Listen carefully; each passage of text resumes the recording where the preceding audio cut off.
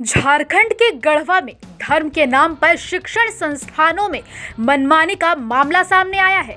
यहाँ मुस्लिम समुदाय के लोगों के द्वारा सालों से चली आ रही प्रार्थना को भी सांप्रदायिकता का रंग दिया जा रहा है। यहाँ मध्य विद्यालय के प्रधानाध्यापक पर ग्रामीणों ने दबाव देकर कहा कि स्थानीय स्तर पर मुस्लिम समाज की आबादी पचहत्तर प्रतिशत है।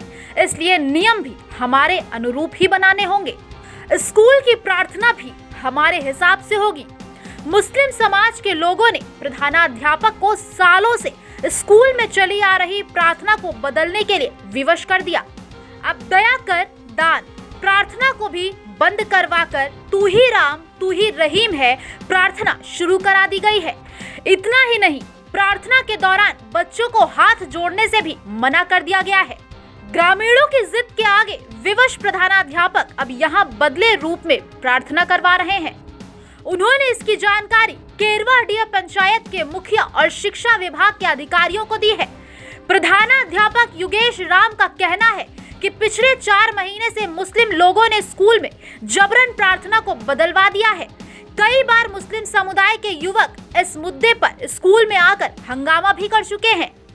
प्रधानाध्यापक द्वारा सूचना दिए जाने पर मुखिया शरीफ अंसारी ने हंगामा करने वाले मुस्लिम समुदाय के युवकों को स्कूल संचालन में किसी प्रकार का हस्तक्षेप नहीं किए जाने के लिए समझाया। लेकिन ग्रामीण जब नहीं माने तो मुखिया ने गाँव वालों के अनुसार ही प्रधानाध्यापक को स्कूल संचालन की सलाह दी।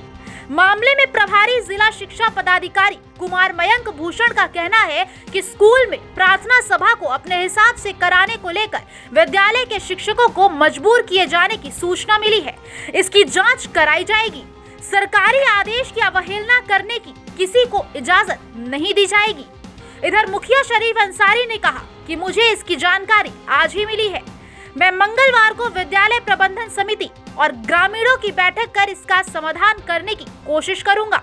किसी भी कीमत पर गंगा जमुनी तहजीब को बरकरार रखा जाएगा।